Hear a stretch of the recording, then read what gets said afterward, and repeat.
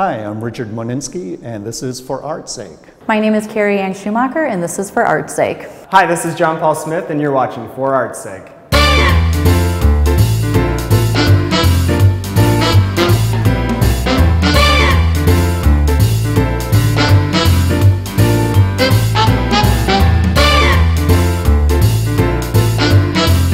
Hi, I'm Jonpaul Smith. I'm from Cincinnati, Ohio. I currently work with found materials, uh, weaving them together. Uh, it's kind of a process of collecting, gathering information, and sorting through it.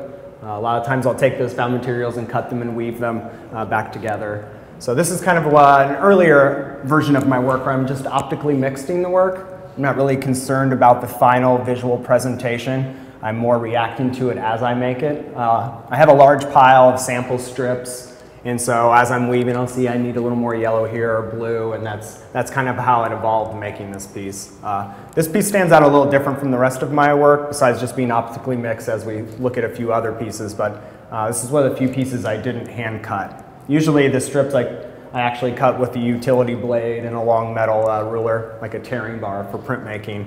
Um, but I actually went around to a lot of different Goodwills in Cincinnati trying to source out an old paper shredder that didn't cross cut they gave you kind of like those, those movie versions where you see someone putting the papers in and they're long, yeah, uncut pieces coming out. So if you actually see this one up close, you can see all the little geared teeth of, of it being ran through the paper shredder. So that's kind of how this one originally came out. And the title seasonal promotion, I, I always well, through college, you always get hired on at Barnes & Noble as a seasonal employee, and that happened to me a lot. And so I just always like all the gearing up for something, uh, whether it be back to school or Christmas, or that's really where the title lends to from that piece. So this piece, uh, Holler, I, I'm, I'm more interested in keeping imagery combined.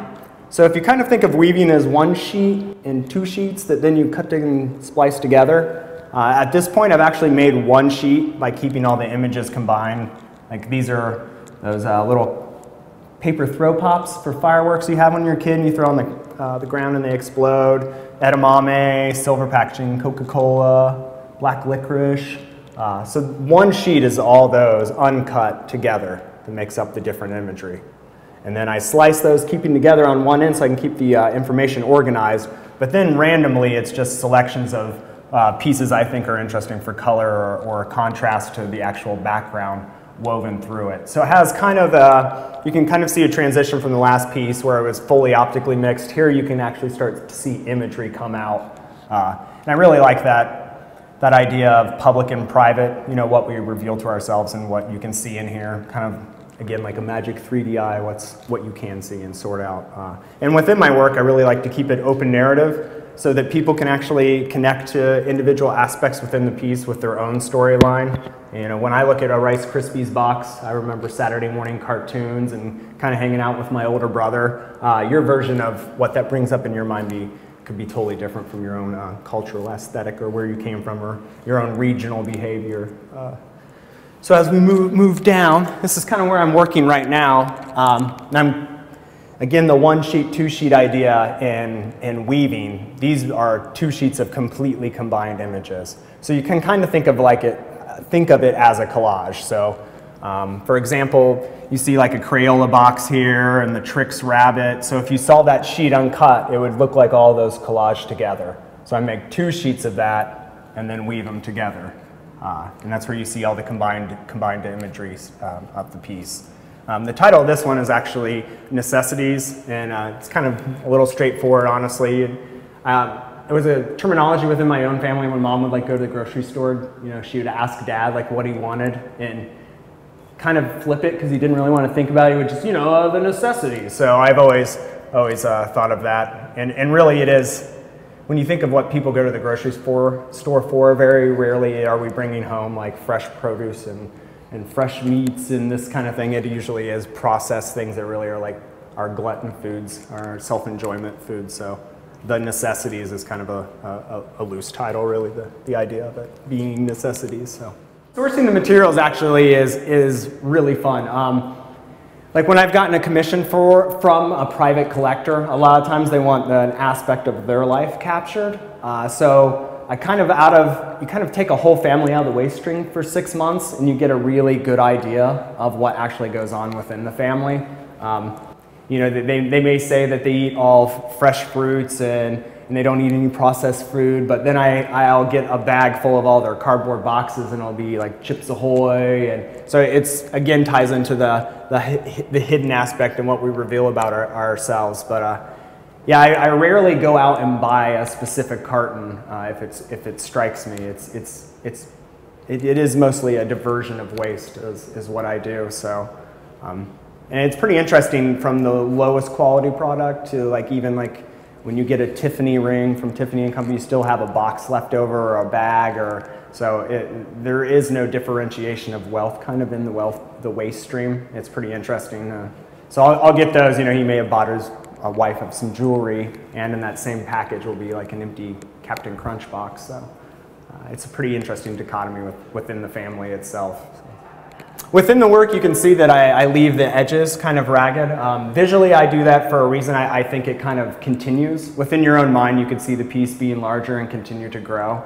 Um, also, my, my past work, and I still do make pieces of this size, are, were very large. They'd be six by nine feet, eight feet uh, an eight foot circle. Uh, I've made a piece as large as eight by 17 feet of woven material.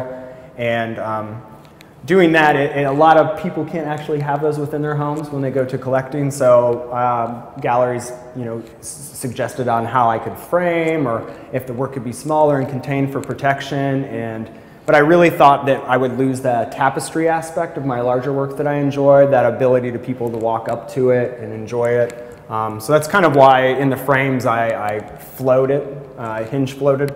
So they're basically floating on two pieces. It's a rag mat on the back, and then two pieces is acid-free foam core. Uh, and then a linen tape comes down onto the piece and goes through a slit in the mat, and they're taped on the back, and it gives that floating ability, which I really enjoyed. It goes back to my older work, and it, it allows for a lot of shadows within the frame. Uh, and I, I think that's just a really nice aspect of the work.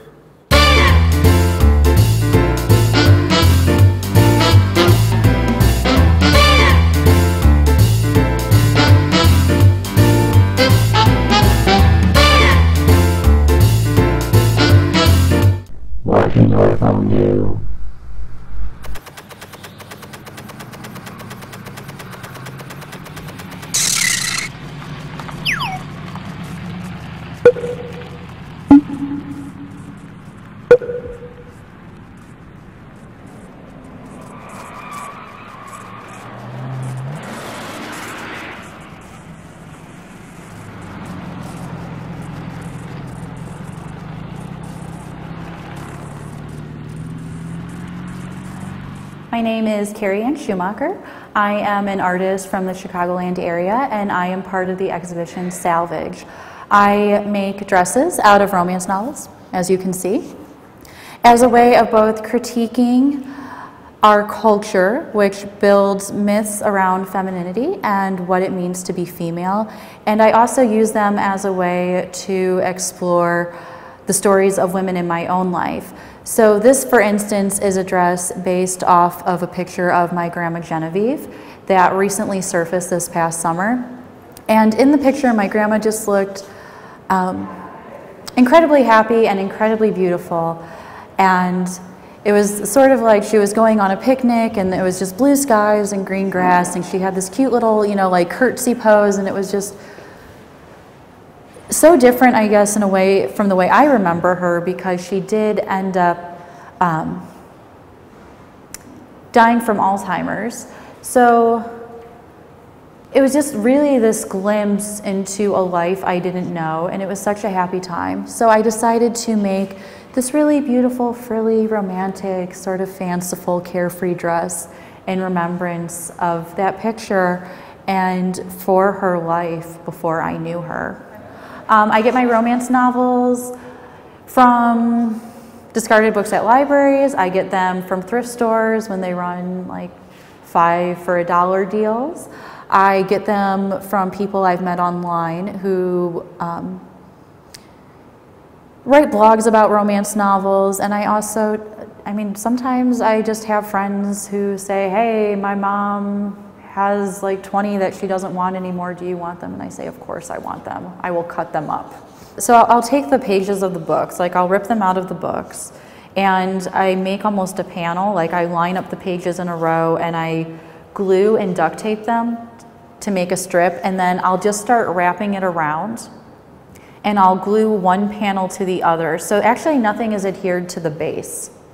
It's all sitting on top. And then once, you know, it covers the form, I slit it either on the side or the back and I put Velcro in so it can be removed from the form if need be.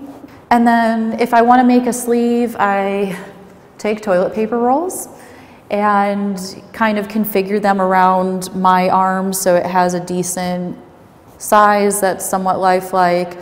And I attach with either glue or tape that to the base. And then basically everything you see is glued onto that bottom form.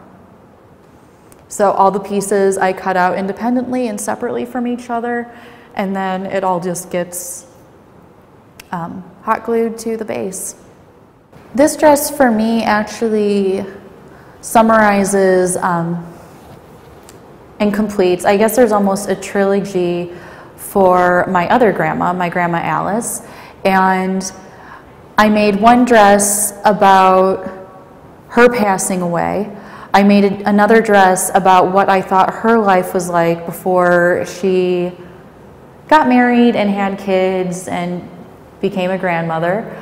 And then when I was making this one, it was about the time of, of year that I start thinking about my grandma Alice because it, it does get into late September um, when she passed away. And I see this almost as my goodbye to her, like my farewell to her.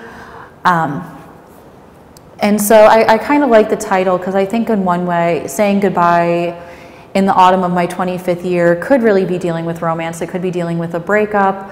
Um, it could be leaving somebody, but at the same time, for me, I, I know it, it isn't. It's actually as a commemorative piece for my grandma. Once I get the book and the understructure is assembled, um, I usually just take pages and I cut the parts that I need. So for instance, like these little leaves, are cut out individually by hand and hole punched, and then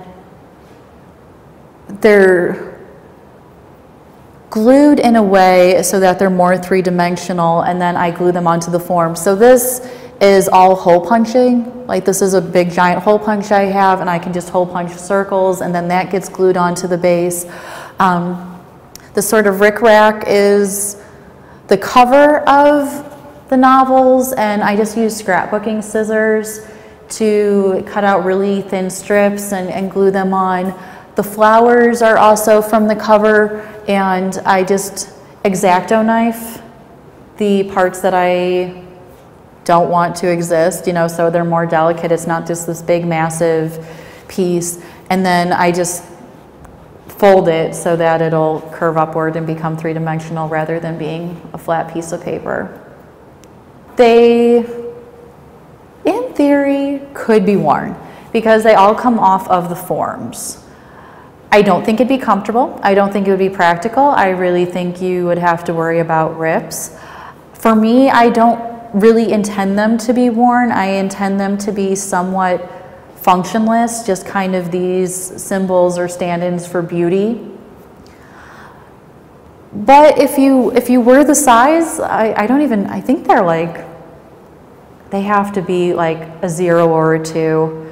If you are a size zero or a size two, you could definitely wear them. As I said, I don't think it'd be fun.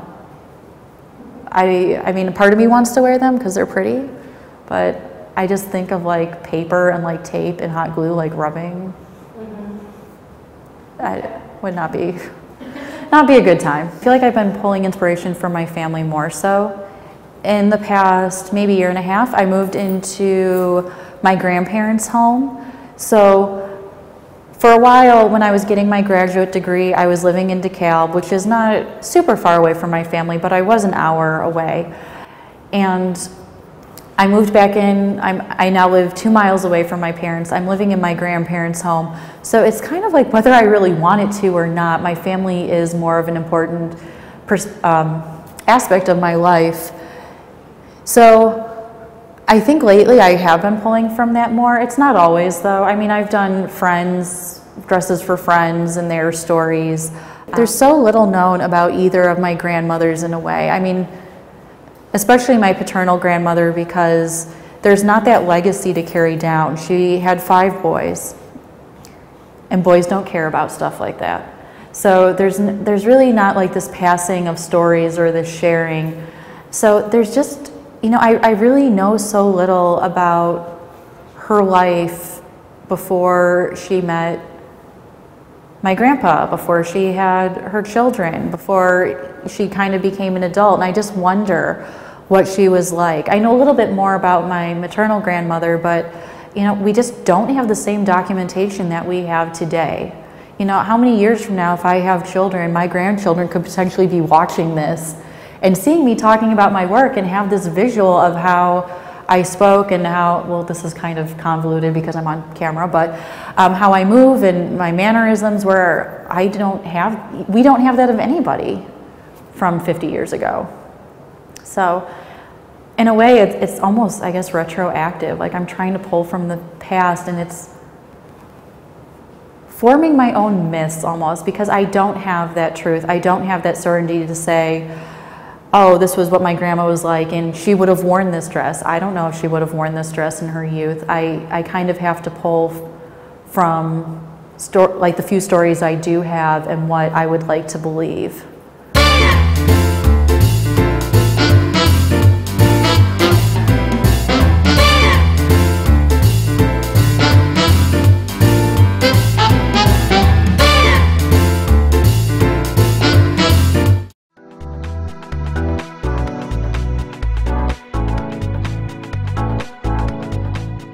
Hi, my name is Ryan Heiser, and I'm the Senior Vice President of Fisher National Bank in Mahomet. I recently attended the AMA program at Parkland College, focusing on human resource development. For the past 10 years, I was a, community bank loan officer, and the, the bank asked me to manage the Mahomet facility, and in turn, the uh, board of directors encouraged me to, you know, take some human resource training. So after some research, we found out that Parkland had the best program available. The uh, instructor was my favorite part. Um, Cindy was able to bring real life experience into the classroom, and uh, it was really advantageous for me to, to, to learn from somebody that's with that much experience.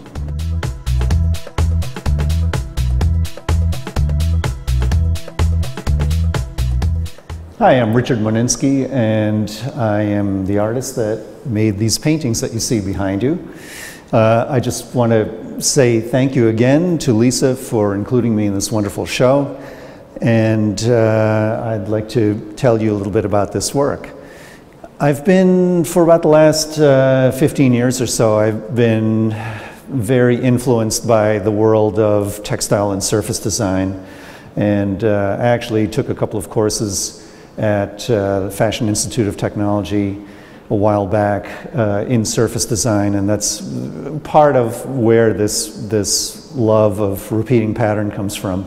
Uh, a lot of it had been in my work previously, but um, for about the last 15 years, I think it's, it's really come to the fore. It's been a, a strong ingredient in my work. In this present body of work, I'm making works that uh, sort of represent the meeting place of cultural history and natural history. I've been painting on printed fabrics, which are mostly camouflage fabrics, and I'll um, get to the why of that in a little bit. But um, I've been trying to include a lot of uh, things that pertain to some of my interests and, and also relate to uh, where I grew up, which is Massachusetts.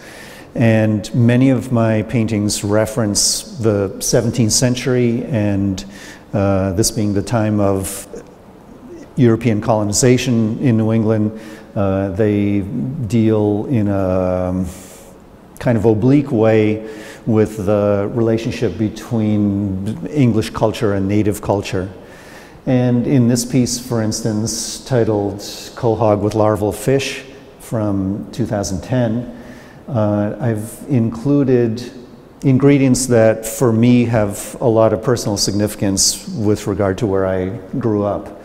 The, the various larval fish stages represented are of a species called a tautog, which is uh, Narragansett Indian word, as is quahog, the name for this shellfish. And I also have included a portrait of John Winthrop, who was the first governor of the Massachusetts Bay Colony in 1630. And so uh, I'm, I'm representing native culture through uh, these words for these various animals, and I'm also representing English culture through the portrait. And uh, additionally, through the, these words, which are place names in Massachusetts, half of them are English, half of them are native. And so it's uh, kind of my uh, tribute to the um, long and complicated history of, uh, of settlement in New England. So I mentioned I paint on camouflage fabrics, and uh, this came about quite by chance. And as a result of this happy accident, where I, I just painted on a whim on a scrap of camouflage fabric, uh, I found that this was something that I could take and stretch in a number of different directions. Uh, much of my work deals with different levels of representation versus abstraction, particularly with regard to foliage. Um, thinking about the long history of representation of plants and flowers in, in textiles, in the history of textiles, there are all different levels of representation from extremely stylized and abstracted things on the one hand and very, very representational things on the other hand. And uh, incorporating camouflage into my work was um, one way to extend that idea a little bit, since camouflage is essentially just a, a stylized foliage, it's a representation of foliage. And so the um, the decision to use camouflage was um, not only a, a, formal consideration, I liked all those little squiggles and bumps and things, but it also um, tied in with the other kinds of imagery that I was using at the time. And, uh, you know, there, it, does, it does have many um, political associations as well. You know, there are, there are these references to the military and references to hunting, which I don't really deal with overtly in this body of work, but I have in the past. So it's, uh, it's something that has um, served me on, on many levels as a, a formal device and also as a, a conceptual tool. In addition to making paintings on printed fabrics, I also make smaller works on digital prints. And in this case, I'm taking the fabrics and scanning them, uh, making a print, and then drawing and painting on them with traditional media. Uh, or in some cases, going back and, and uh, scanning the work a second time after I've worked on it a little while. And uh, most recently, I'm, I'm working entirely with digital media on my iPad uh, with various drawing and painting programs, uh, chiefly one called ArtRage, which I think simulates painting uh, to a remarkable degree. But anyway, in, in these smaller works, I've really been enjoying the interplay of, of various media, uh, in this case, ink and gouache and acrylic, in this case, felt tip markers and acrylic. Uh, in this case here, um, this is acrylic with some gouache. And uh, in, other, in other pieces, I've used colored pencil, I've used bits of collage. Um, I just really uh, enjoy the opportunity to experiment with a number of different media and uh, also to kind of play off the, the different kinds of mark making systems that arise through, you know, through using one thing or another. But these smaller works um, incorporate the same kinds of imagery that the, that the large works do. The scale has changed obviously, but uh, the, the story is, is still pretty much the same. I'm, I'm interested in how the natural world has been systematized and stylized uh, in, the, in the world of textile design and I'm also interested in the historical angle and cultural angle, the environmental aspects, the, the, uh, the natural history of the region, that, that certainly is tied in with the cultural aspects to a great degree as well. These, uh, these last two pieces are the most recent ones that I've done, and, and they're part of an ongoing series of, of these kind of mid-sized works. So uh, in addition to the, the very large pieces, or for me they're very large, they're about uh, five by seven feet, and these small works, uh, I also have work in this scale as well. And once again, I'm dealing with native plants and animals. In this case, uh, two animals whose names derive from Native American words, so the muskrat and the skunk. And I'm also looking at the European decorative arts tradition with things like uh, Baroque wood carving details or um, little bits from uh, historic tapestries. And so I'm, I'm trying to um, pull all that information together and, and make a statement on uh, the accumulated history of a particular place, uh, an accumulated history of my um, growth as an artist, uh, an, an, accumulated history of uh, my physical journey through this world. And uh, ultimately, what I'm trying to do is incorporate as many things that I really love about art making as I can. So I, I really love the, the decorative impulse. I really love the gestural mark of, of abstract expressionism. Uh, I, I love making renderings of, of plants or animals or people uh, in, a, in a kind of realistic vein. And so I've, I've been searching for a number of years for uh, vehicles that will allow me to uh, incorporate all those, all those impulses and uh, hopefully you know, synthesize that into something that's, that's greater than just the sum of its parts. Often I'll work on more than one type of printed fabric and I can show you on this one here how I've joined two, two panels of two different prints. And you can see that uh, here's a little bit of the unpainted fabric that shows you the original black and white and gray print down at the bottom and this brown camo here on the top. And ultimately, I, I try to integrate those two ideas, yet uh, still keep some of the uh, original fabric showing through to um, you know, to give me some kind of uh, foundation to, to play off when I add the other imagery. I think for me, uh, making those big shifts in scale with regard to the format of a piece is a way for me to clear my head. When I've been working on a very, very large piece, my physical relationship to the piece is very different than I'm working than when I'm working on a small piece. And so getting that, uh, making that change is just a really refreshing thing. Uh, your, your whole frame of reference to the piece changes because of your physical proximity. You have to be clo very close if you're working on a very small thing. And with a very large thing, you have to be able to stand away at a great deal. And uh, also, just, just the physical dynamic of making a large piece is very, very different as well.